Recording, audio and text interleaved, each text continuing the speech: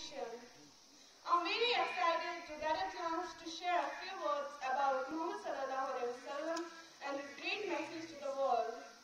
Prophet Muhammad sallallahu alaihi wasallam is the best role model for all humankind. He's a prophet sent from Allah to all humankind. Muhammad sallallahu alaihi wasallam was the last messenger of Allah. He was born in Mecca in the year of 570. His father Abdullah died before he was born and his mother also died when he was only six years old. Yes, he was an Arab. He belonged to a poor but respectable family of the Qurayshi tribe.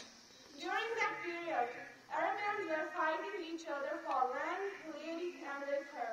Within 23 years, he put the revolution among the Arabians and became them purified persons. It was a real revolution in the world.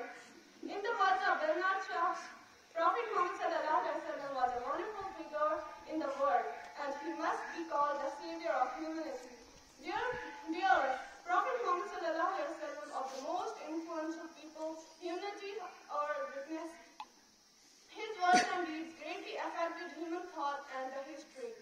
Dear friends, Prophet Muhammad is up to now a perfect example of honesty, fairness, mercifulness, compassion, faith, courage, and thoughtful human being. Among his outstanding virtues and characteristics, he was an extraordinary husband,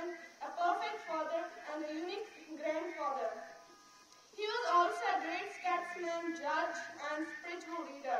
In simple, he was a multi-talented personality that no one can duplicate it.